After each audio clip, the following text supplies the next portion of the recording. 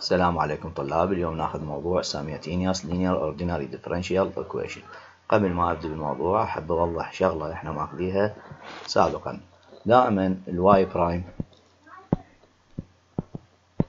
اللي هي تساوي dy إلى dx مثل ما تعلمنا دائما البسط يكون dependent variable والمقام independent variable بغض النظر عن الرموز. ممكن نستعمل دي واي إلى دي تي دي إكس إلى دي تي أي رمز حسب ما تحبون. المهم بالبسط دائما dependent.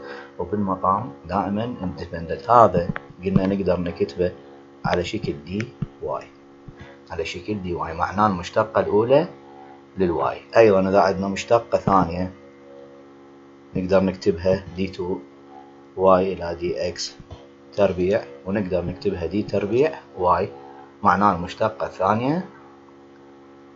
المشتقة الثانية لل y. المشتقة الثانية لل y معناها dy إلى dx من تشوفوها d تربيع y معناها d two y إلى dx تربيع. ال dy وحدها. ال dy وحدها اللي هي dy إلى dx ال d تكعيب y معناها المشتقة. third derivative. Third derivative. جميع هاي الحالات عندنا dependent variable واحد وال independent variable واحد. في بعض الحالات اكو تلقون y إلى x فالمعادلة بيها y إلى x ونفس المعادلة تلقون مثلا x العفو y خلينا نقول إلى t نستخدم. تلقون بنفس المعادلة dx إلى dt قلنا هذن اثنيناتهم ال x وال y يكون dependent. هنا ال t راح يكون independent.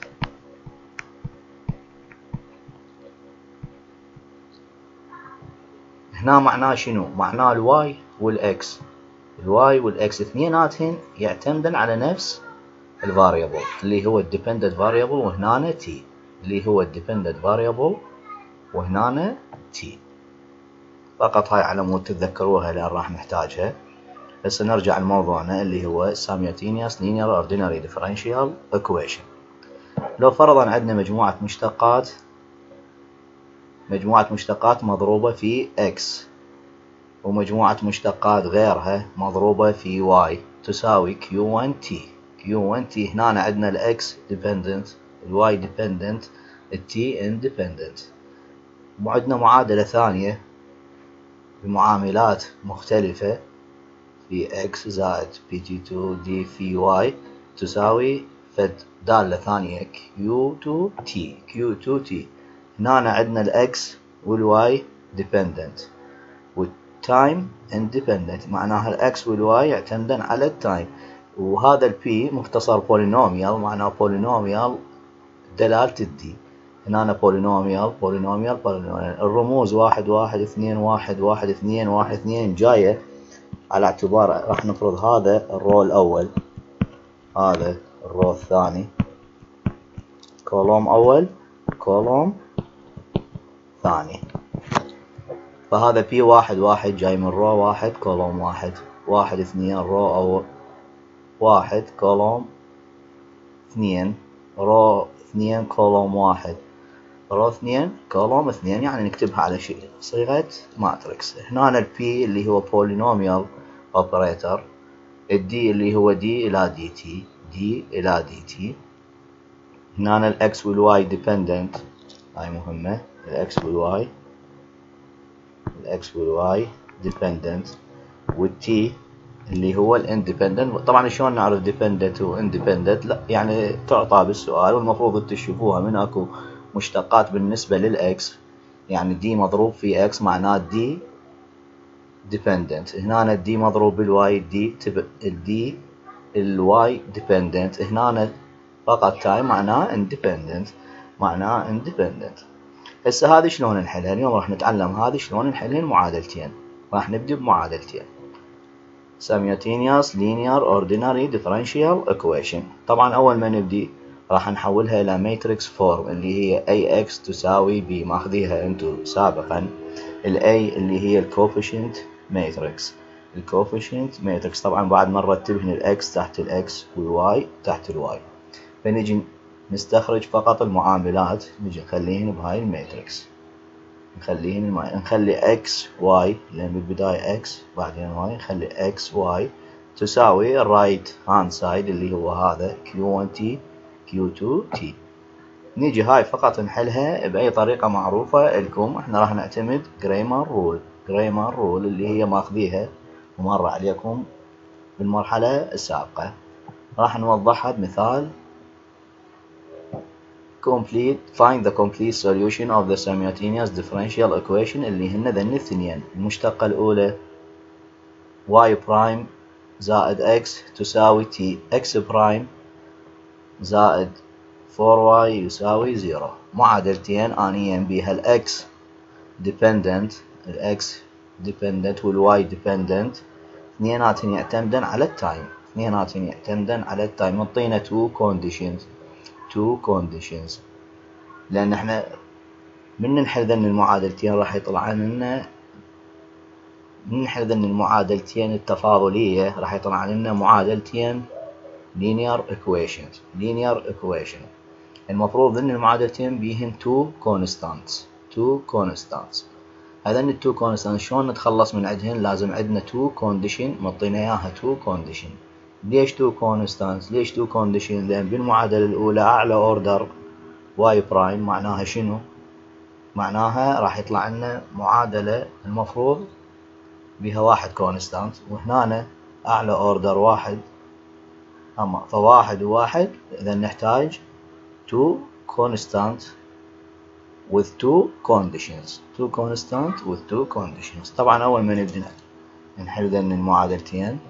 المفروض نكتبها بصيغة ال D فهنا عندنا Y prime نقدر نكتبها DY DY. زائد X ننزلها نفسها تساوي T نخليها نفسها. هنا X prime راح نكتبها DX DX بس نخليها تحت ال X نخليها تحت ال X الأربعة Y نخليها تحت ال Y فقط أربعة Y تساوي zero. راح نكتبها بصيغة matrix equation اللي هي AX equal B. مر عليكم سابقا.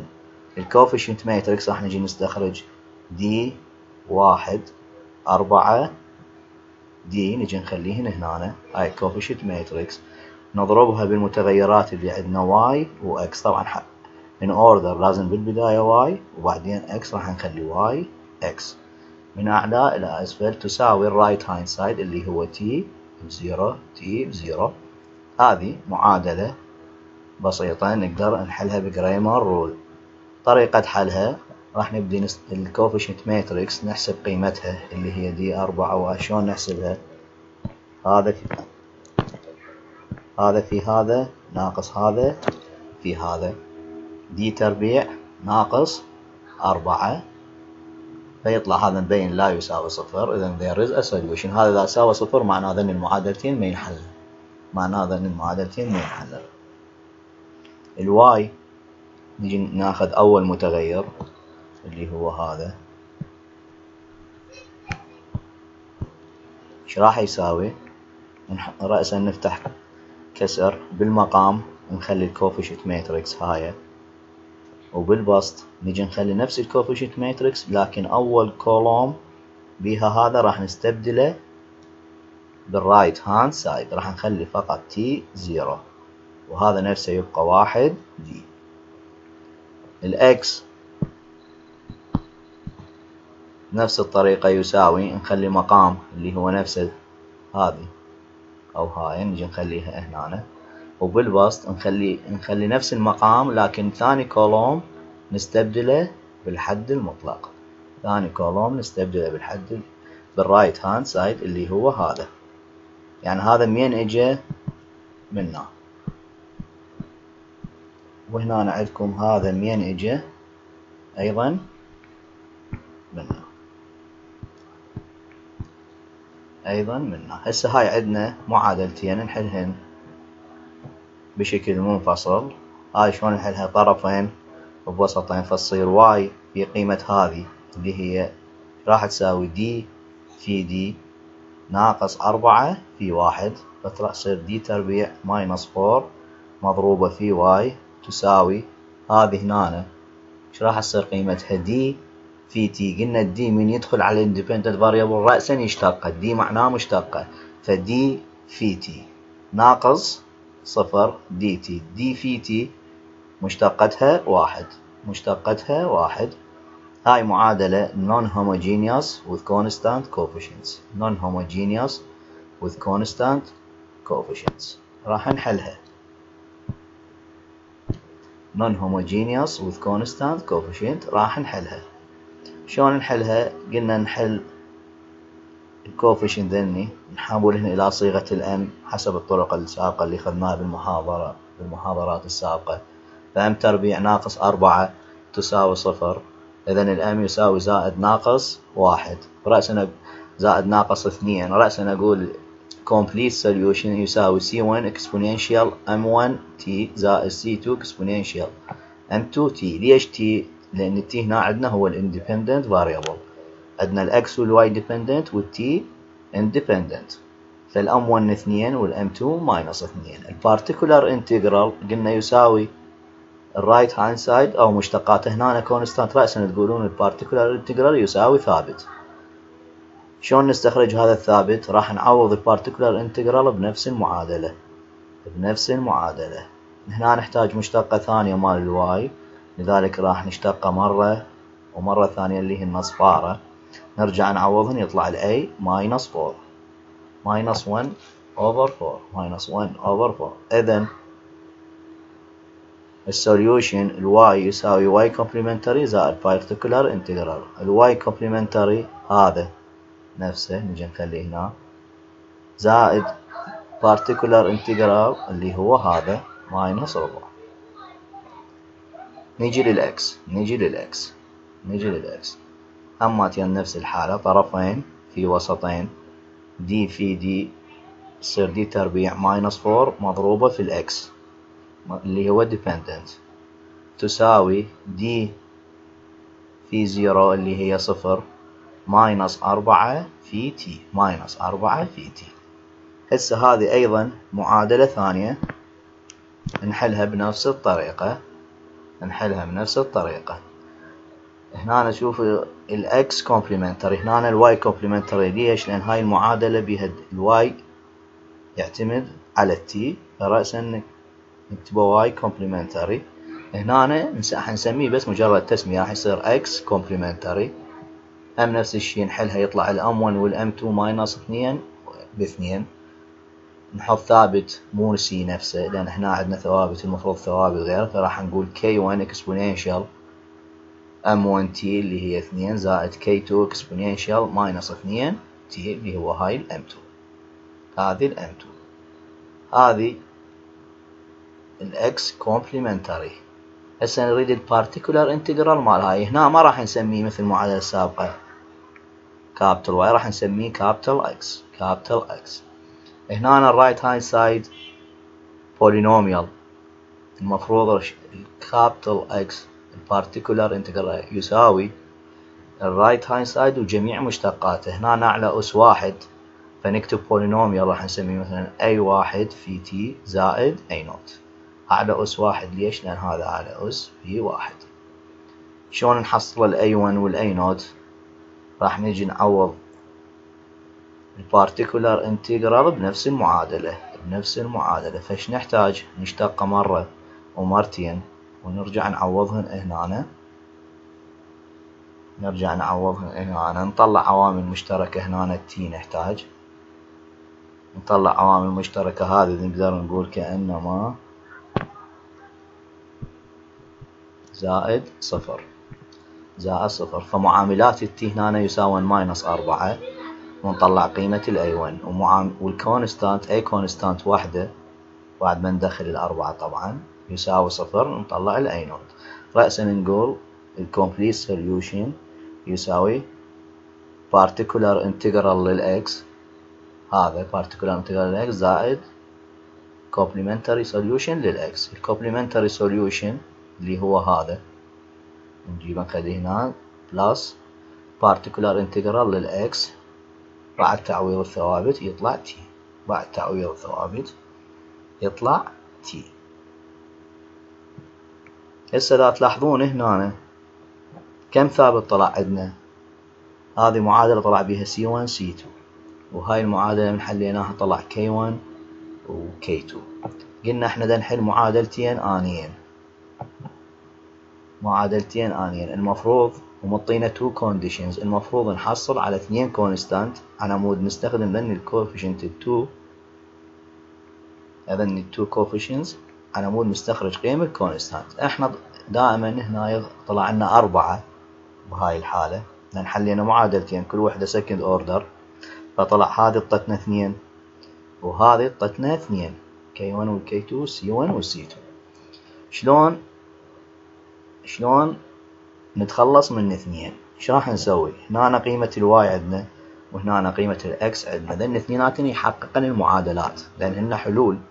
فأي حل يحقق المعادلة اللي تابع لها فايش راح ناخذهن؟ ال x وال y نعوضهن بإحدى المعادلات. نعوضهن بإحدى المعادلات راح نعوضهن بالثانية. بالمعادلة الثانية اللي هي هاي. هاي وهي نفسها هاي. راح نعوضهن هنا.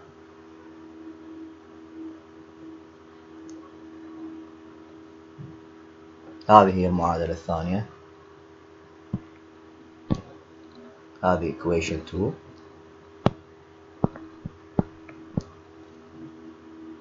عندنا قيمة الإكس هذا الإكس هنا نحتاج x prime راح نشتقه ونخليه هنا. زائد أربعة في y. ال y عندنا قيمته هذا. نجي نخليه هنا يساوي صفر. نسحب عوامل مشتركة ال exponential exponential اثنين t. ونطلع عامل مشترك من الكل فش يبقى اثنين k one. وهنا عندنا زائد أربعة c one. ونسحب ال exponential minus two. هنا يبقى minus اثنين k two. زائد أربعة c two. يساوي صفر. هذا معناه شنو؟ معناه شنو؟ معناه فت zero في مضروب في exponential اثنين t زائد zero مضروب في exponential minus اثنين t minus اثنين t ليش؟ لأن هذا صفر. فإحنا راح نستخدم ال exponential اثنين t و exponential minus اثنين t لأن هنا عندنا exponential اثنين t و exponential minus اثنين t معناها شنو؟ معناها هذا القوس اللي ويا ال exponential 2 t يساوي صفر. يساوي صفر. اللي هو هنا. فايش راح نطلع إحدى الثوابت بدلالة الآخر. فانتو كيفكم؟ شو تريدون؟ راح ناخذ ال k 1 يساوي minus 2 c minus 2 c وأيضا عندنا هذا القوس يساوي صفر. يساوي صفر. يساوي صفر همات نفس الشيء راح نطلع كي 2 بدلالة السي 2 كي 2 بدلالة السي 2 نرجع نعوضهم بالمعادلات. حتى حتى نتخلص من ال k 1 وال k 2 فال k 1 وين يروح؟ هذا. نعوضه هنا. وعندنا هذا.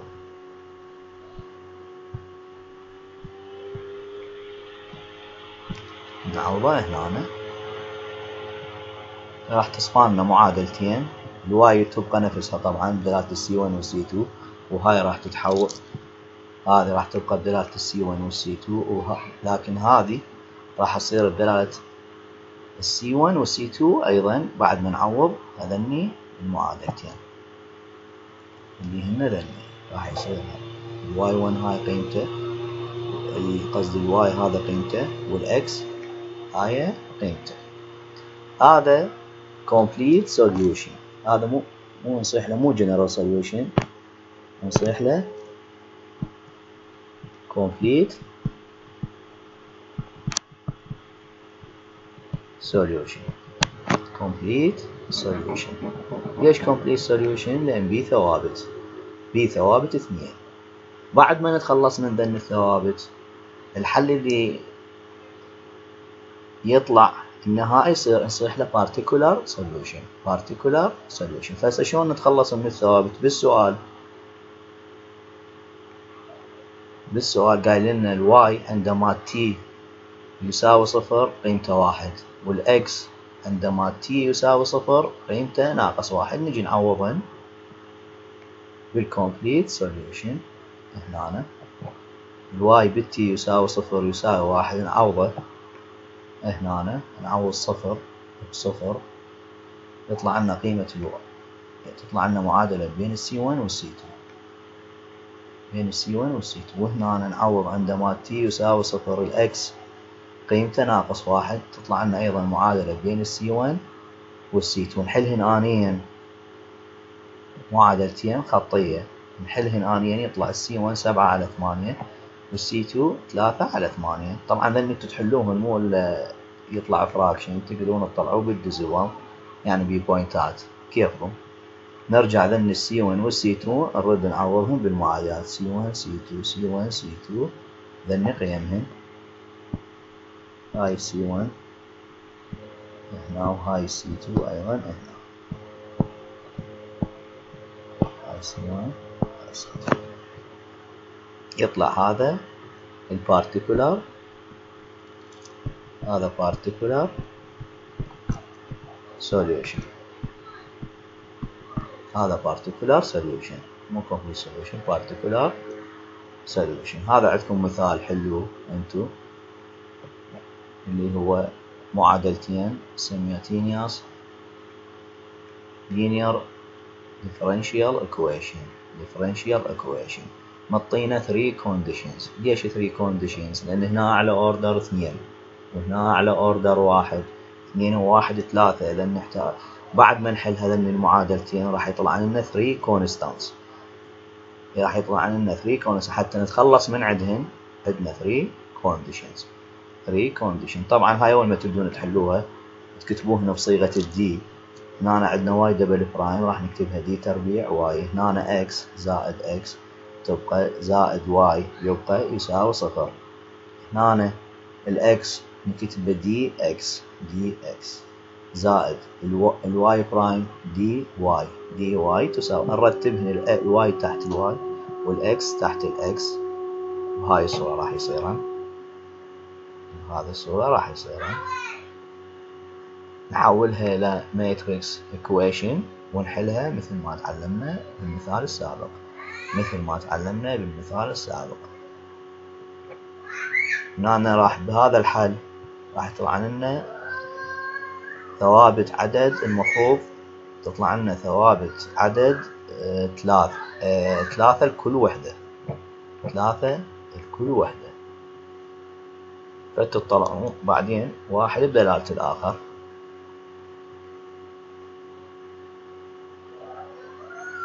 ناخذ application ناخذ application على هذا simultaneous linear ordinary differential equation اللي هو mixing in tanks اللي هو mixing in tanks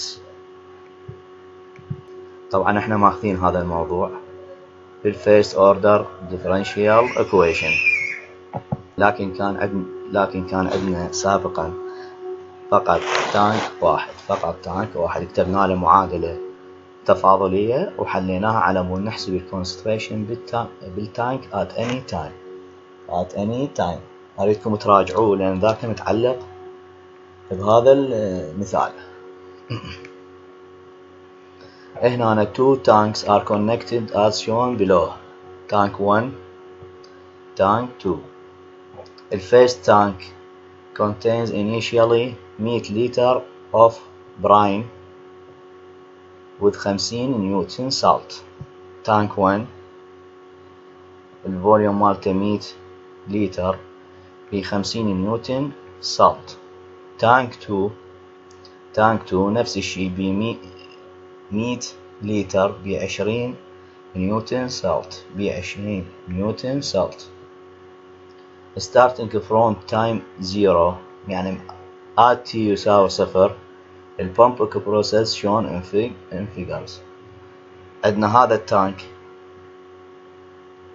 at t يساوي zero داخله 6 لتر per minute pure water خارج من عنده 8 لتر per minute رايح لل tank الثاني ال tank الثاني خارج من عنده 6 لتر per minute للخارج وخارج من عنده أيضا 2 لتر per minute يروح لل tank الأول يروح لل tank الأول المطلوب بالسؤال if the, if the brine in each tank is kept uniform by stirring هذني اكو بيهم خلط مستمر بحيث يصير complete mix complete mix بال two tanks find the amount of salt of each tanks of each tank as as a function of time. As a function of time. يريد التركيز اللي هو وحدات mass الوحدات volume بكل tank ويا الزمن.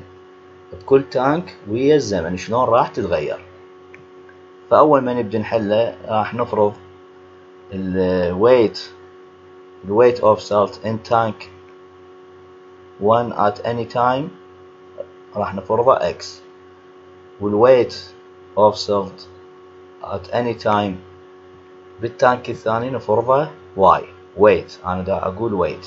يعني وحدات وحدات mass فال volume بالتانك الأول 100 لتر وبالتانك الثاني 100 لتر إذا تلاحظون التانك الأول التانك الأول مجموع اللي داخله اثنين باثنين. اللي خارج ثمانية. التانك الثاني التانك الثاني خارج اثنين بستة يعني ثمانية وداخل ثمانية. يعني بكل تانك الإن يساوي الأوت. الإن يساوي الأوت. هنا الإن ثمانية. الأوت ثمانية. هنا الإن ثمانية. الأوت ثمانية أيضا. الأوت ثمانية أيضا. فهسه نقول ال concentration of salt in the tank. قد التركيز هنا at any time يساوي x على 100 ال x إحنا فرضنا ال weight at any time. المية اللي هي ال volume اللي هي ال volume اللي هو دائما constant هنا ال volume 100 وهنا أيضا دائما constant ال volume 100 ليش constant دائما؟ لأن الان يساوي الاوت هنا أيضا الان يساوي الاوت ف x على 100 concentration of salt in tank 1 y على 100 concentration of salt in tank 2 in tank 2 راح نجي نكتب معادلة تفاضلية تصف التغير بال mass بال tank الأول ويا الزمن. ونفسها نكتب. ونكتب معادلة بنفس الصيغة لل tank اثنين لل tank اثنين. هسه بال tank الأول إيش راح أقول؟ dx إلى dt اللي هي مقدار تغير ال weight ويا الزمن مقدار تغير ال weight من الزمن. يعني بالبسط هنا عندنا وحدات mass وبالمقام عندنا وحدات time وحدات time يساوي. التصريف في التركيز الداخل. ناقص التصريف في التركيز الخارج. التصريف بالتركيز الداخل عندنا ستة في صفر هذه ستة. داخل منا ستة لتر per minute التصريف وقايل لنا pure water pure water معناه التركيز إيش صفر داخل فستة في صفر. من هنا إيش داخل لنا داخل لنا اثنين لتر per minute التركيز مالتها إيش قد راح يساوي y؟ y على مية. y على مية يعني إحنا نقدر نكتب x على مية وهنا y على مية. At any time. التركيز. Concentration. زائد اثنين في y على مية minus الخارج اللي هو قد ثمانية لتر per minute مضروب بالتركيز الخارجي اللي هو x على مية. هذا x على مية. نبسطها هاي المعادلة تطلع لنا هاي. dx إلى dt. تساوي 0.02y minus 0.08x 0.08x هاي معادلة رقم واحد. نجي نكتب نفسها لل tank 2 لل tank 2 ال tank 2 لنستخدم إحنا y dependent ف dy إلى dt. dy إلى dt مقدار تغير ال mass ويا ال time يساوي. التصريف بالتركيز الداخل ناقص التصريف بالتركيز الخارج. الداخل ثمانية. ثمانية في x على مية. اللي خارج ناقص اثنين.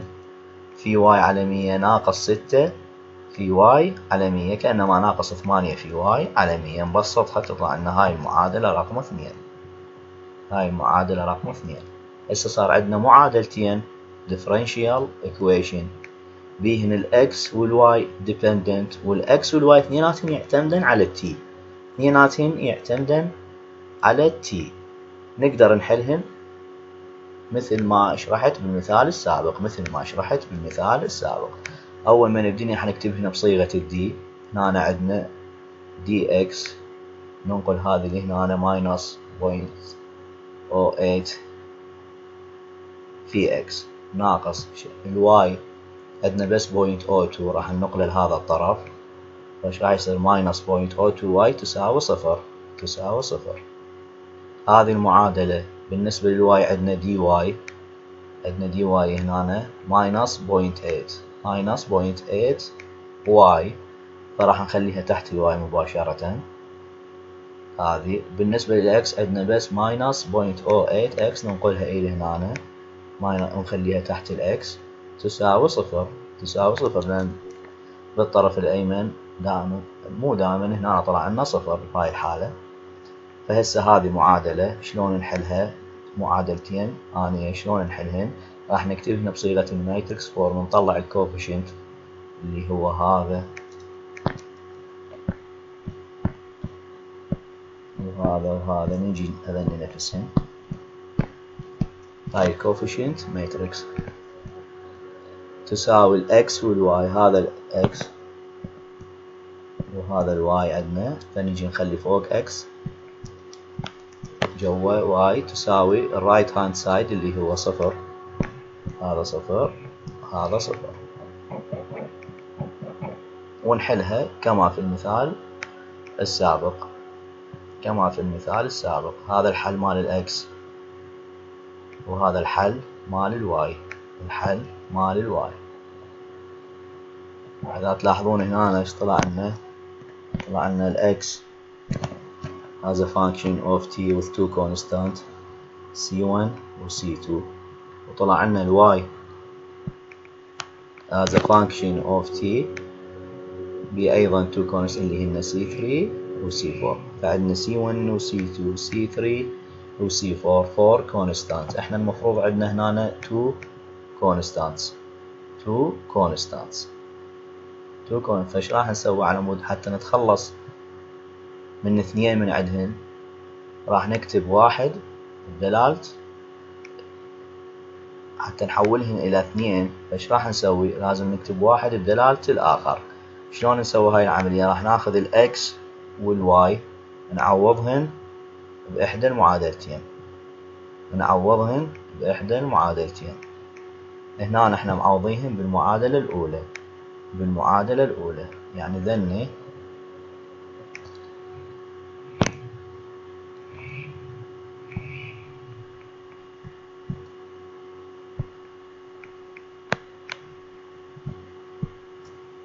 راح نعوضهن بهاي المعادلة راح نعوضهن بهاي المعادلة بعد التعويض واستخراج عوامل مشتركة واستخراج عوامل مشتركة راح يطلع لنا C3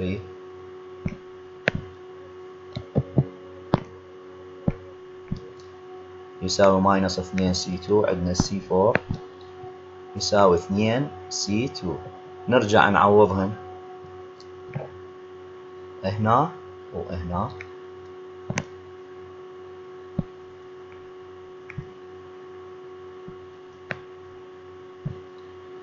راح راح المعادلة الأولى تبقى نفسها بدلالة السي 1 والسي 2 الثانية راح تصير أيضا بدلالة السي 1 والسي 2 هسه هنا عندنا كم ثابت؟ سي 1 وسي 2 سي 1 وسي عندنا بس اثنين ثوابت. بس اثنين ثوابت. عندنا two condition at t يساوي صفر. نستنتجهم طبعا من الحل. at t يساوي صفر. إيش قد ال x هنا؟ خمسين معطى. ال x اللي هو concentration of salt in tank. هنا خمسين. وهنا إيش قد التركيز؟ عشرين. إذا at t يساوي صفر. ال x قيمته خمسين. و at t يساوي صفر. ال y قيمته عشرين نعوضها نبدأ للمعادلتين هنا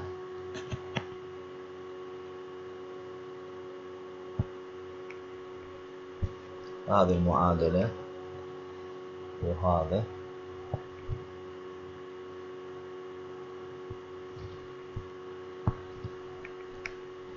هذا ال X. وهذا ال Y. نعوض هنا نحلهن آنيا يطلع لنا C 1 عشرين وال C 2 ثلاثين.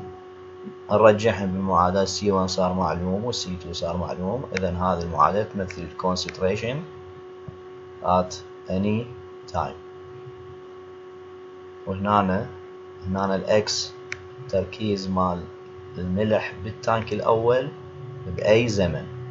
وهنا التركيز مال الملح بالتانك الثاني عند أي زمن